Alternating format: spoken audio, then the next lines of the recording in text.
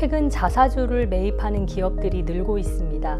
주주가치 재고를 위한 조치라고 하는데 반짝 효과로 끝나는 경우도 적지 않은데요. 국내 경제와 산업별 이슈를 짚어보는 경제인 이슈. 오늘은 기업들이 자사주를 매입하는 이유와 최근 대규모 자사주 매입을 발표한 기업들에 대해 이야기 나눠보겠습니다. 오늘도 지난주에 이어 김종효 알파경제 이사님 나와주셨습니다. 이사님 안녕하세요. 네, 안녕하십니까? 네, 이사님 올해 자사주 매입 뉴스가 계속 나오고 있어요. 네. 네, 지금 지난주 기준으로도 자사주 취득이나 처분 관련 공시가 500건이 넘거든요. 지난 한 해 동안 400여 건이었던 것 비해서 확실히 증가했습니다. 그 이유가 뭘까요? 네, 기업들의 자사주 매입은 원래 있었지만 올해부터 더 증가하고 있는 것은 아무래도 우리 시장의 저평가가 좀 심화되고 있다는 평가가 가장 큰 이유라고 보시면 좋을 것 같습니다. 음, 지금 2024년, 아, 2014년 이후 한 10년간 기간 동안 아, 미국 증시 대비해서 국내 증시가 월등하게 저평가되고 있는 음. 상황이거든요. 그러니까 원래부터 평가가 낮았지만 최근 들어서는 더욱 낮아지고 있는 상황인데 그 원인을 조금 찾아보자면 뭐 여러 가지 원인이 있죠. 우리가 뭐 수출 지향이라서 경기를 탄다. 또 시가총액 상위 종목군들의 주가 변동성이 크다. 어, 이익 변동성 자체가 이런 여러 가지 저평가의 원인이기도 하지만 근본적으로 보면 주주가치 환원이라고 하는 측면에서 우리 시장이 그동안 너무 이것을 소홀히 한 바가 있다. 네. 근데 주주가치를 되돌려 주는 방향에 있어서는 뭐 여러 가지가 있겠지만 가장 좋은 건 돈을 주는 거죠. 네. 그래서 배당을 주는 것 이외에 또 주주 가치를 올려줄 수 있는 것들이 무엇이 있느냐? 그 중에 한 가지 방법이 어, 회사가 자기 주식을 사서 회사의 유통 주식의 수를 낮춰주면 수요 공급의 원리로 인해서 자연스럽게 주가가 올라갈 수 있는 한 가지 원인이 되겠죠. 그래서 이러한 부분들이 자사주 매입의 뭐 표면적인 이유라고 음. 봐야 될 것 같고요. 네. 그 다음에 우리가 최근에 자사주 매입이 늘어난 또 하나의 이유. 일본의 사례 때문인데요. 음. 일본도 어떻게 보면 뭐 장기 저평가에 빠져 있던 상황, 그 다음에 일본의 잃어버린 30년이 지나고 나서 최근 일본 증시가 과거 최고 활황일 때 주가를 되찾았는데 음. 거기에는 일본의 그 주요 종목들, 주요 기업들의 소위 밸류업 프로그램이라고 하는 주주 가치 환원에 적극적인 노력을 하는 어, 이러한 행태들이 결국은 주가의 상승으로 이어졌다라고 해서 금융당국이 여기에 이제 엄청난 푸시를 하고 음, 있죠. 네. 그래서 어, 이거라는 기업들에게 우리 앞으로 더 좋은 어, 여러 가지 어드밴테이지를 주겠다라고 하는 게 정부의 정책인데요.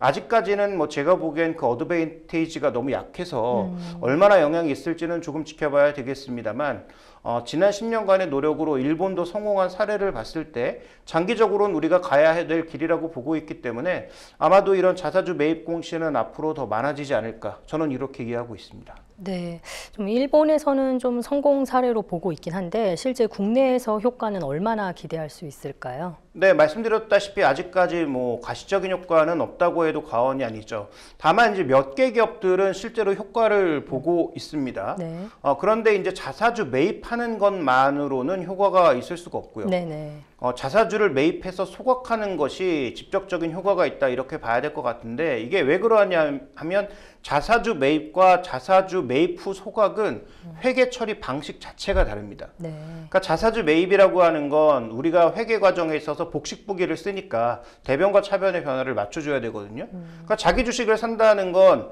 회사의 재산에서 현금을 빼서 주식을 사는 거 아니겠습니까? 그렇습니다. 그럼 반대쪽에서는 자기 자본을 줄이는 형태로 이 양쪽의 대변 차변 을 맞춰줍니다. 네. 그래서 자기 주식을 사게 되면 별 변화가 없는 가운데 회사의 재산만 줄어드는 형태로 가는 거예요. 네. 근데 소각이라고 하는 건 뭐냐면 주식 수 자체가 줄어드는 거죠. 예. 그러면 결국 주식 수가 줄어들면 주당 가치가 높아진다라는 차원에서 단순하게 매수만 하는 방향으로 해서는 효과가 있을 수가 없고요. 예. 강력한 소각이 병행되었을 때 더 강력한 어, 부양 효과를 줄 수 있다 이렇게 봐야 될 것 같습니다. 네네. 그래서 어, 과거 사례를 살펴보면 어, 메리츠 금융이라고 하는 회사가 있어요. 예. 금융사가 대부분 이 밸류업 효과, 자사주 매입 효과로 긍정적인 흐름을 가져갔는데 음. 여기에 자사주 매입과 소각만 하면 안 되고 배당까지 더해졌을 때 더 효과가 있는 거죠. 네. 그래서 메리츠 증권 같은 경우에는 장기적으로 지난 몇 년간 주주 가치를 계속 끌어올리면서 주주 가치 환원을 계속 끌어올리면서 주가가 엄청나게 많이 올랐고요. 예. 반면 신세계 인터라고 하는 회사가 있는데 이 회사는 동일하게 자사주 매입을 했지만 강력한 뭐 배당이라든지 소각 같은 것들이 뒤따르지 않음으로써 오히려 업황의 하락과 더불어 자사주 매입의 효과 없이 주가가 지속적으로 흘러내리는 그런 모습을 보였죠. 네. 그럼 올해 자사주를 취득한 대표적인 기업은 이제 10조 원의 자사주 분할 매입을 발표한 삼성전자입니다. 어, 내년 2월까지 3조 원 규모의 자사주를 매입해서 전략 소각할 예정인데요. 이외에도 올 하반기에 뭐 셀트리온, 네이버, 카카오는 물론 특히 아까 말씀하셨다시피 금융기업들이 많이 자사주 매입을 공시했습니다. 이 중 눈여겨볼 기업들이 좀 있을까요? 네, 뭐 금액으로 보든 효과로 보든 삼성전자를 볼 수밖에 없는데요. 뭐 준비된 그림 세 개를 차례로 보시면 네. 어 제가 이제 주식 투자를 시작한 지 25년이 지났는데 25년 동안 제 정확하게 제 기억으로는 어 2010년 이전에는 저도 정확하게 따져보진 않았지만 예.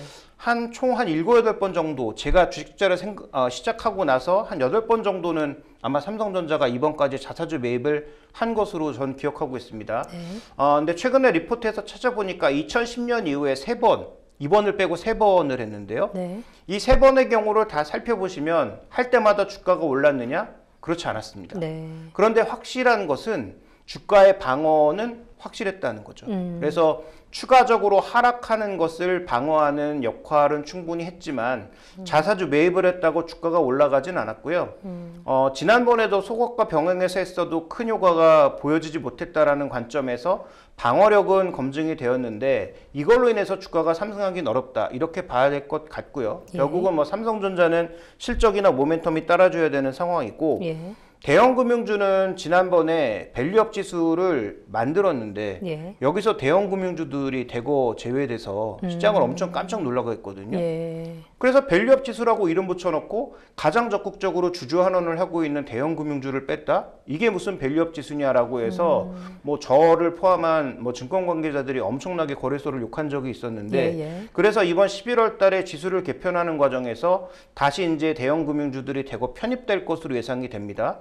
그래서 기본적으로 회사도 자기 주식을 사서 소각도 하고 배당도 주는데 거기에 플러스 밸류업 펀드가 들어와서 뭐 연기금이 됐든 펀드가 이렇게 주식을 사준다면 장기적으로 주가 안정에 도움이 되겠죠. 그래서 네. 그런 부분들을 하나 살펴볼 필요가 있겠고 네. 그 다음에 자사주 매입 소각과 더불어서 배당 성향이 높은 어, 대표적인 업종을 하나 우리가 살펴보자면 다음 이제 준비된 그림을 보시면 통신주들의 총 주주 환원율을 우리가 확인할 수 있는데요. 예, 예. 이 대신증권의 총 주주 환원율을 보시면 대부분의 회사가 한 7, 8% 정도의 총 주주 환원율을 보여주고 있습니다. 예.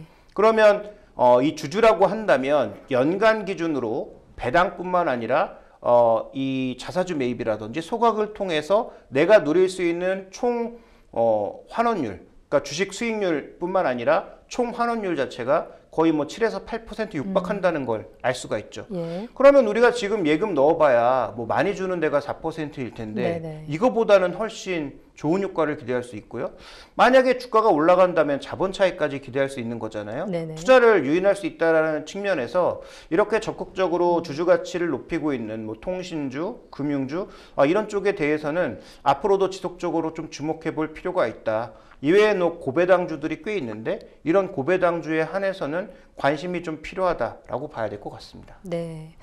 과거 여러 사례를 보면 이제 자사주 매입보다는 결국 실적이 주가의 방향을 결정했던 경우가 많았는데요. 삼성전자는 어떨 것 같으세요? 네, 삼성전자도 우리가 실적이 주가를 견인했다라고 착각하지만 실제로 그렇지 않습니다. 네. 반도체는 오히려 경기의 방향이 좀 더 주가와 밀접하게 움직입니다. 그래서 제가 준비한 두 가지 그림을 보시면 첫 번째 그림은 삼성전자의 영업이익과 주가인데요. 영업이익과 주가가 따로 놉니다.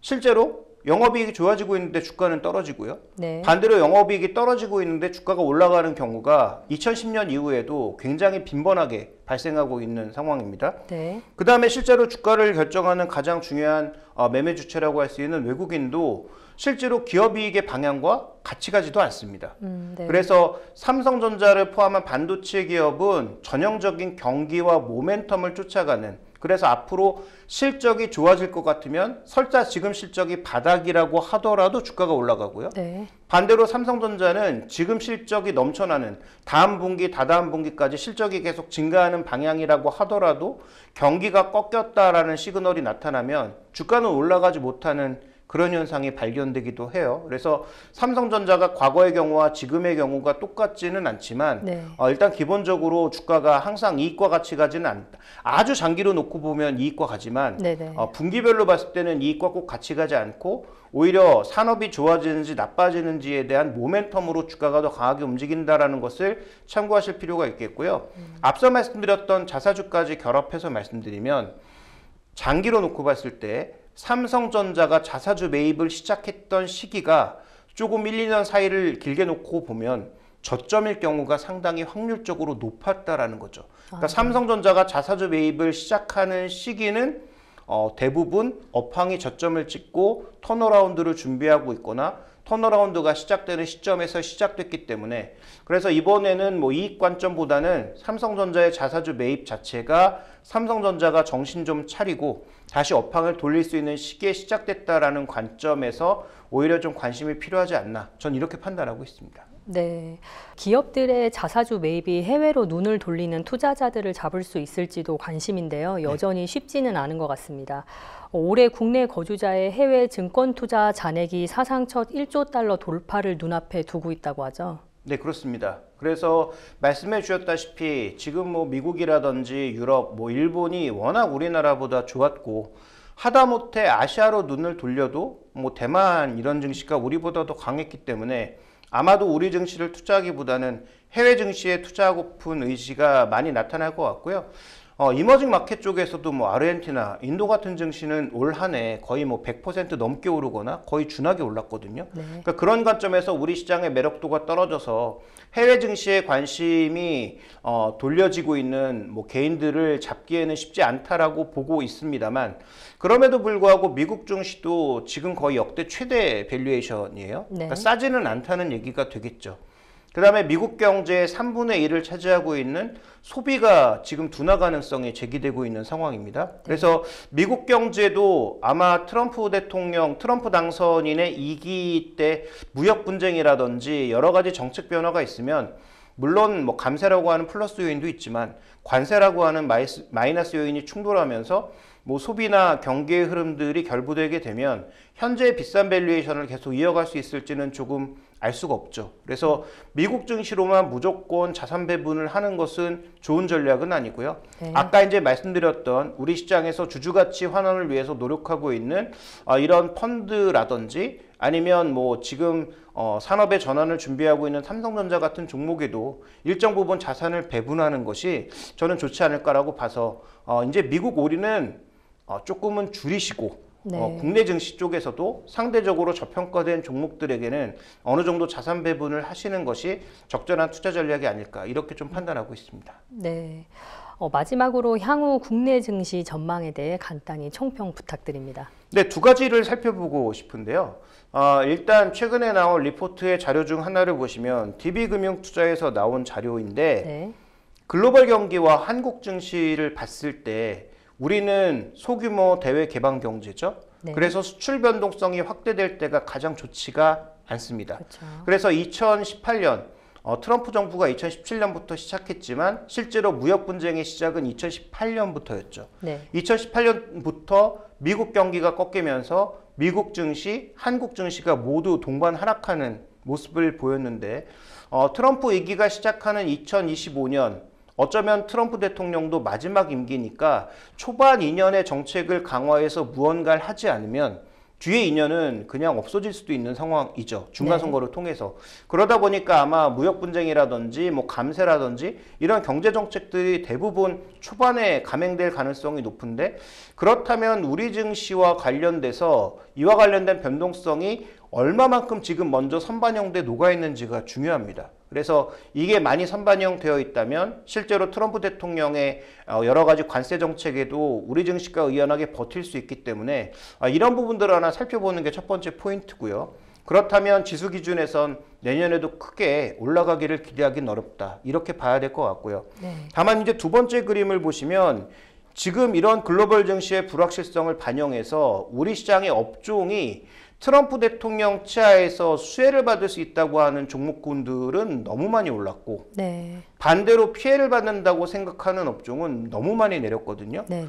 그러면 여기서 당연히 수혜받는 업종들이 앞으로도 좋아 보이는 건 사실이지만 증시의 선반영이라는 속성상 너무 가격을 선반영하면 오히려 먼저 움직였던 종목군들은 덜 움직이고 너무 많이 빠졌던 종목군들이 올라오면서 그 균형을 맞출 수 있거든요. 예, 예. 그런 균형자적인 관점에서 지금은 너무 많이 오른 종목에만 집착하시기보다는 상대적으로 많이 빠져 있는 뭐 반도체, 자동차, 2차 전지 어, 이런 쪽의 종목군들의 가격 회복을 어, 좀 생각해 보시는 게 좋지 않을까라고 보고 있는데 왜 그러냐면 실제로 트럼프 2기의 시작은 1월 20일이잖아요. 네. 아직도 두 달 가까운 시간이 남아 있는데 시장은 너무 빠르게 이런 변화들을 반영하고 있단 말이죠. 실제로 정책의 강도도 모르는 가운데 그래서 어, 제가 말씀드리고 싶은 건 내년도에도 큰 지수의 상승은 일단 기대하기 어렵다. 그러면 여전히 업종별 종목별 대응을 해야 되는데 단기적으로 봤을 때는 너무 기대를 선반영하면서 불타오른 종목들보다는 악재를 선반영하면서 급락한 종목군들이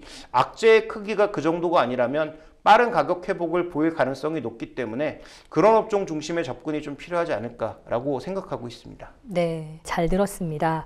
어, 이번 주 경제인 이슈는 여기까지입니다. 오늘도 나와주신 김종효 알파경제 이사님 고맙습니다.